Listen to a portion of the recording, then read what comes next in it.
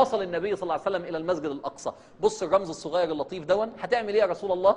ينزل سيدنا النبي صلى الله عليه وسلم وينزل جبريل ويقفوا عند حائط قدام المسجد الأقصى. أول ما ينزل النبي يقوم واخد خطام البراق وربطه في حلقة أمام المسجد ويثبت ال- الربطة. ليه يا رسول الله؟ ده البراق ده نازل مخصوص عشانك. هيجري البراق مثلا؟ يعني النبي صلى الله عليه وسلم هيخرج هيلاقي البراق مشي.